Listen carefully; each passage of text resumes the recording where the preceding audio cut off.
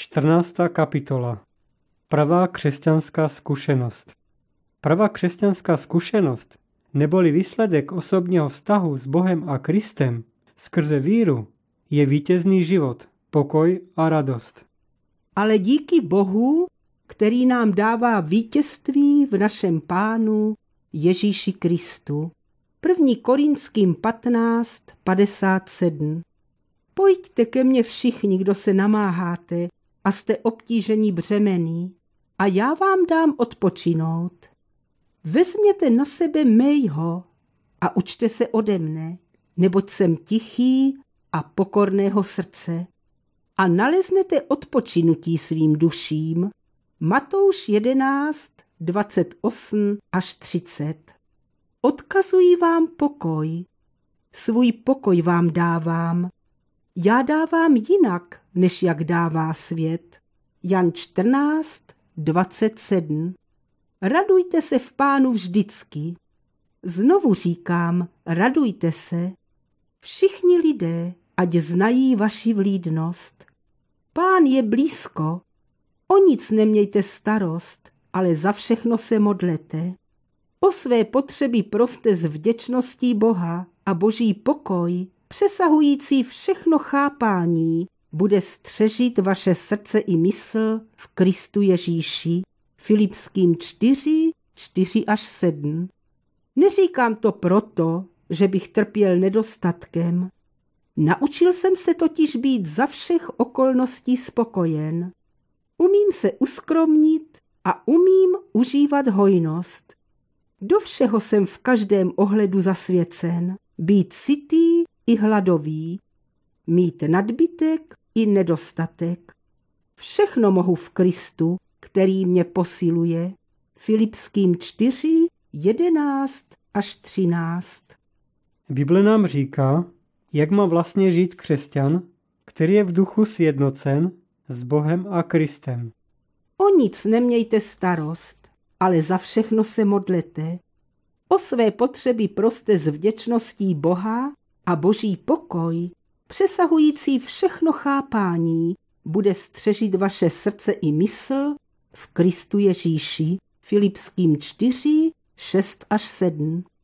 Říkám vám, žijte duchem a nepodlehnete tělesným sklonům. Tělesné sklony míří proti duchu a duch proti tělu. Navzájem si odporují, abyste nemohli dělat, co chcete. Když jste však vedení duchem, nejste pod zákonem. Galackým 5, 16 až 18. Proto se jako boží vyvolení, svatí a milovaní, oblečte niterným soucitem, laskavostí, pokorou, mírností a trpělivostí. Buďte mezi sebou snášenliví a máli někdo k někomu výhrady, odpouštějte si navzájem. Tak jako pán odpustil vám, odpouštějte i vy. Nad to vždy buďte oblečeni láskou, která je poutem dokonalosti. Ve vašich srdcích ať vládne Kristův pokoj. Právě k němu jste byli povoláni v jednom těle. Buďte vděční. Slovo Kristovo ať ve vás přebývá v hojnosti.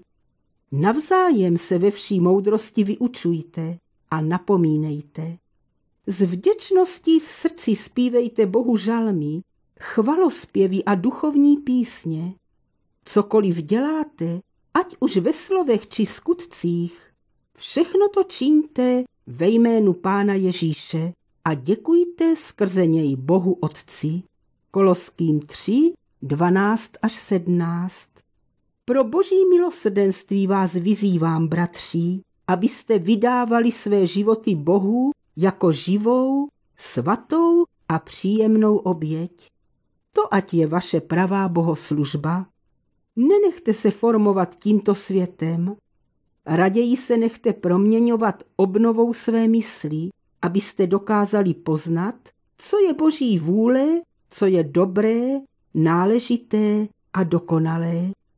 Láska, ať je bez přetvářky, mějte odpor ke zlu, tíhněte k dobru. Milujte se navzájem bratrskou láskou. Projevujte si navzájem uctivost. V pilnosti buďte vytrvalí, ve službě pánu horliví, v naději radostní, v soužení trpělivý, v modlitbě vytrvalí.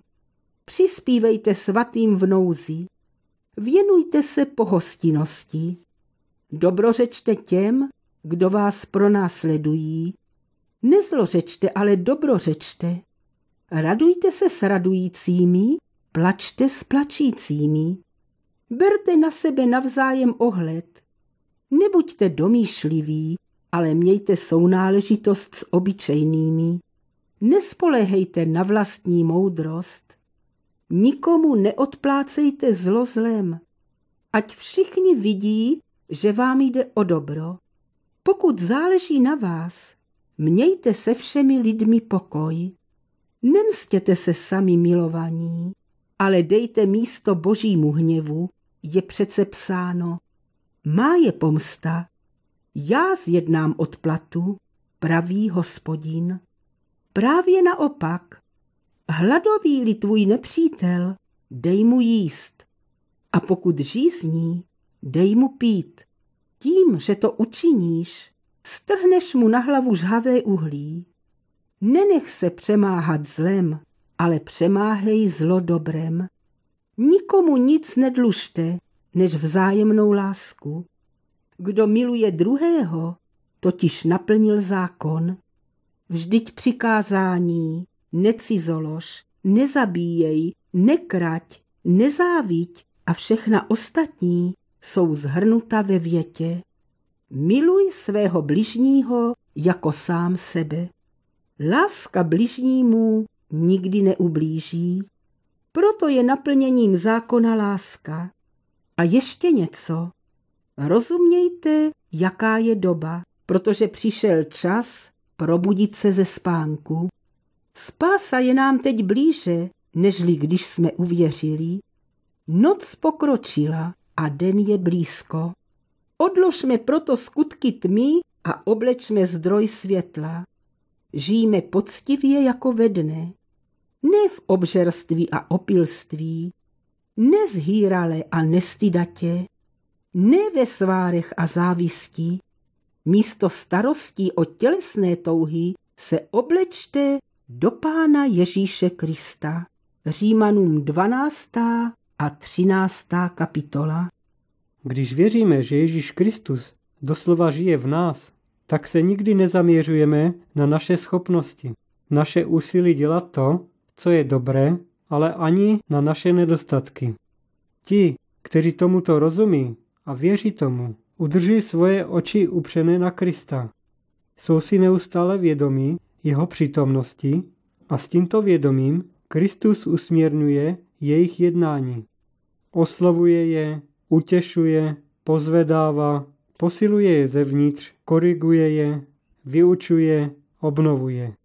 Když žijeme tímto způsobem, my jsme neustále vítězové a rosteme ve víře a duchovnosti.